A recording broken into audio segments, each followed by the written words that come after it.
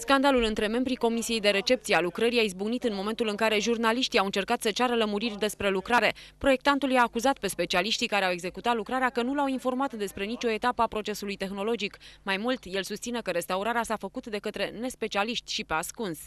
Habar n-am că s-a ținut licitația, am solicitat de câteva ori și în e mail să mi se spună, în mod normal trebuia să fiu invitat la licitație. Păi și Asta de este ce uzăra. s-a întâmplat asta? Nu dau cu presupusul, nu știu.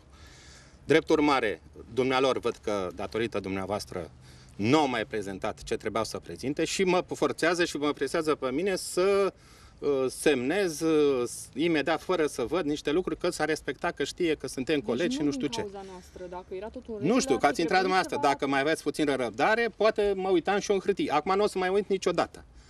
Și recepția înseamnă că nu va fi făcută niciodată? Eu oricum n-am, n-am semnat-o.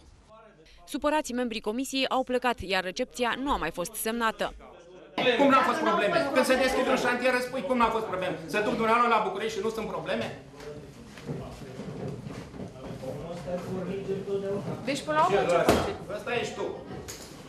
Conform proiectului, cea mai importantă parte a lucrării ar fi trebuit să constea în înlocuirea tablei din plumb de deasupra monumentului. Proiectantul general susține că, în loc să fie restaurată, poarta sărutului a fost distrusă.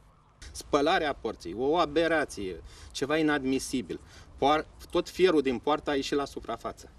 Dar asta se întâmplă de mult timp și cei de la Centrul Brâncuș de aici de Deci- la Târgu Jiu spun că asta trebuie să se întâmple ca să fie Cum să operele se întâmple curățate. așa ceva fără, fără aviz? Deci este legea 422, legea patrimoniului, în care spune că cine lucrează fără aviz e posibil penal. Din cauza asta, acum poarta este galbenă. Ați avut un aviz pentru asta? A existat, dar nu aceasta este problema. Dacă uh, cineva dorește să afle mai multe detalii, este bine să ceară de la specialiști, nu de la noi care am uh, doar am uh, gestionat o problemă de uh, administrativă.